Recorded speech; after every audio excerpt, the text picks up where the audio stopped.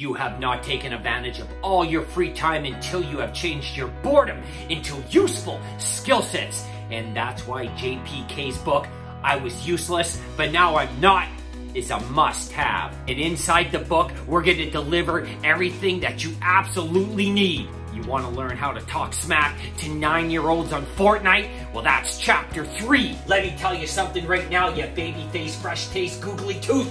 I'm gonna destroy your whole entity. It's no big deal that your skinny jeans used to fit because now with those calories compounding and compounding, you can do the ultimate trick of your belt buckle exploding.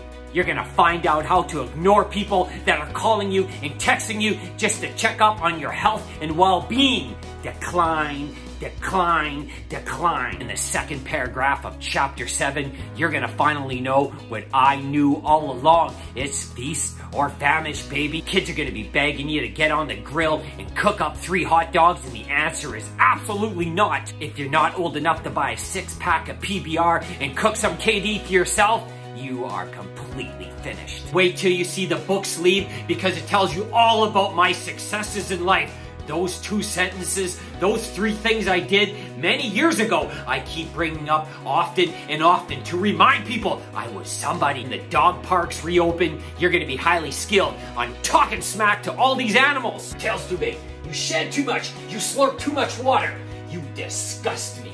Going through a self-identity crisis?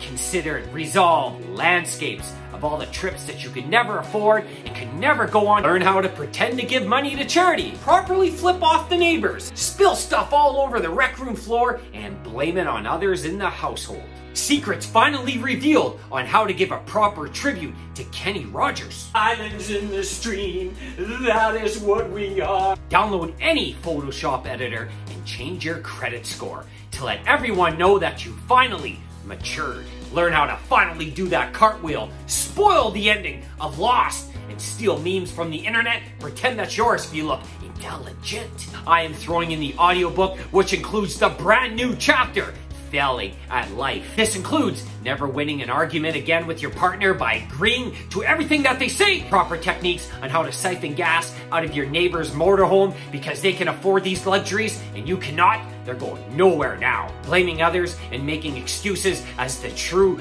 route to happiness. You purchased a home and a car and you had no idea what the interest rate was. Proper shredding of the mail when it arrives so you never have to look at all the bills again. Google searching addresses and calling in noise complaints about people that you never met and never did anything to you just to cause a disturbance. Swimming with the world's largest goldfish and tying up loose ends by doing nothing at all procrastinate, and just dream that the issue goes away. This exact moment, you're gonna pick up the phone, use the last $13 credit left on your MasterCard, and purchase JPK's book, I Was Useless, and Now I'm Not. Please be advised of the following disclaimer. If you are disappointing people in life, you need to seek professional help. Stop what you're doing right now and do not read this book. JPK is not professionally certified in any capability to help your life, and this book will probably bring you down deeper to despair and embarrassment.